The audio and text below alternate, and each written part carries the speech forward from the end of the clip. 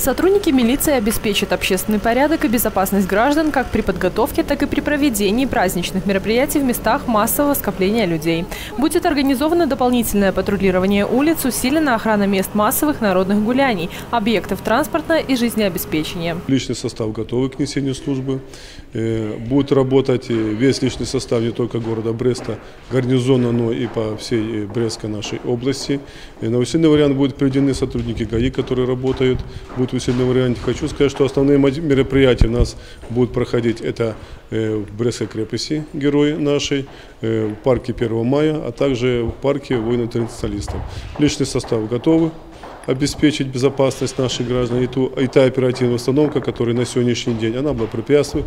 То есть для проведения вот этих праздничных мероприятий, думаю, что вопросов у нас не будет. Следить за соблюдением правил поведения на дорогах как пешеходами, так и автомобилистами завтра в усиленном режиме будут инспекторы ГАИ. Сотрудники госавтоинспекции обращаются к водителям с просьбой заранее выбирать свой маршрут проезда по городу 9 мая, учитывая тот факт, что движение по некоторым центральным дорогам Бреста в связи с проведением мероприятий будет запрещено.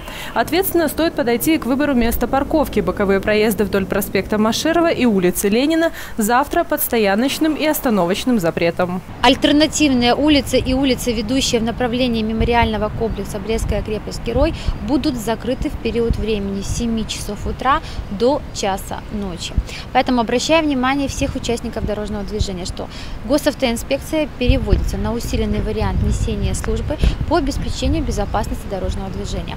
Особое внимание Хотелось бы обратить именно на пеших участников дорожного движения, что в период времени с 9.30 и до окончания шествия будет закрыто движение для пешеходов по улицам Варшавское шоссе в направлении улицы Зубачева. Чтобы было понятно, это новый Берестейский мост. В том числе в период времени с 22 часов и до окончания мероприятий в связи с праздничным салютом. Во избежание непредвиденных ситуаций и трудностей при передвижении по городу завтра по возможности автовладельцам стоит на день стать пассажирами и пересесть на общественный транспорт.